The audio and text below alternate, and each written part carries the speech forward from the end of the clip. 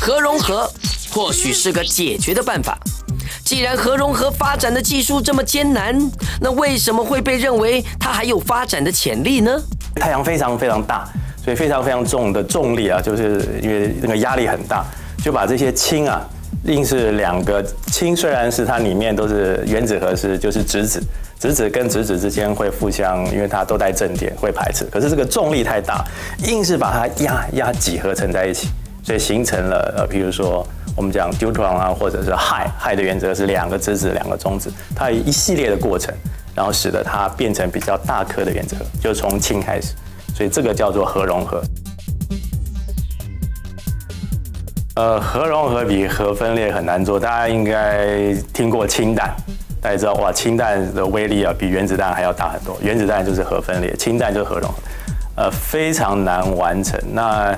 呃，其实大概已经发展了五十年啊，比如说前苏联时代，他们就有所谓用 tokamak。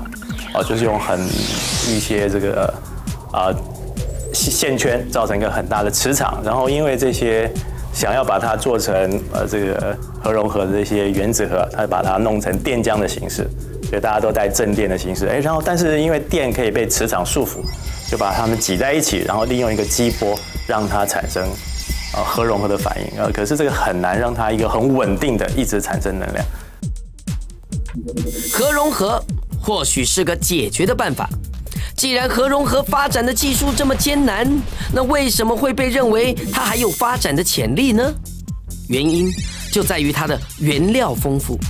每一加仑的海水可以提炼八分之一克的氘，而氚也可以从岩石当中的锂原子来提炼。